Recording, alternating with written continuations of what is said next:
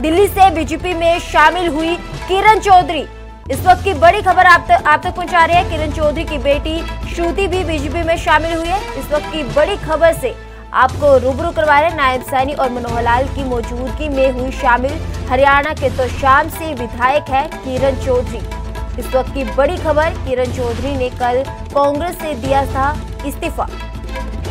लोकसभा चुनाव में टिकट न मिलने से नाराज़ थी किरण चौधरी। इस वक्त की बड़ी खबर आप तक पहुँचा रहे जहाँ बीजेपी में शामिल हुई किरण चौधरी। लोकसभा सीट न मिलने से नाराज़ थी। किरण चौधरी की बेटी श्रुति भी बीजेपी में शामिल हुई है। इस वक्त की बड़ी खबर से आपको रूबरू करवा रहे हैं कि नायब सैनी और मनोहर लाल के मौजूदगी के बीच उन्होंने बीजेपी ज्वाइन की है। हरियाणा के तो शाम से है। किरण चौधरी ने कल कांग्रेस से इस्तीफा दिया था और आज उन्होंने बीजेपी ज्वाइन कर लिया। उनकी बेटी ने भी बीजेपी ज्वाइन की है। सूत्रों के अनुसार खबर आ रही है कि लोकसभा चुनाव में टिकट ना मिलने से वो नाराज़ चल रही थी।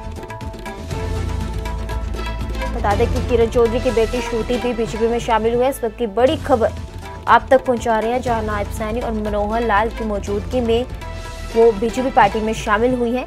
हरियाणा के तो शाम से विधायक हैं किरण चौधरी। किरण चौधरी ने कल कांग्रेस से इस्तीफा दिया था और आज उन्होंने बीजेपी ज्वाइन की है और उनकी बेटी ने भी बीजेपी ज्वाइन की है। लोकसभा चुनाव में टिकट न मिलने से नाराज़ नाराज़ थी। श्री तरुण चुग जी भारतीय जनता पार्टी हरियाणा के नेता, प्रदेश के मुख्यमंत्री श्री नायब सिंह सैनी जी और सुरेंद्र नागर जी, जो सह प्रभारी है हरियाणा प्रदेश के। आज पार्टी में दो बहुत प्रमुख हस्तियाँ जो ठीक है, वर्षों तक इन्होंने भले ही कांग्रेस में काम किया, लेकिन मैं तो ये मानूँगा कि शरीर कांग्रेस में रहा होगा, मन हमेशा भारतीय जनता पार्टी में रहा है। क्योंकि मेरा परिचय बहन किरण जी से श्रुति जी से तो इतना ज़्यादा परिचय पहले नहीं था, लेकिन अभी हुआ, लेकिन किरण जी से परिचय उस समय से, जब चौधरी बंसीलाल जी के साथ हम मिलकर के काम करते थे। उन्नीस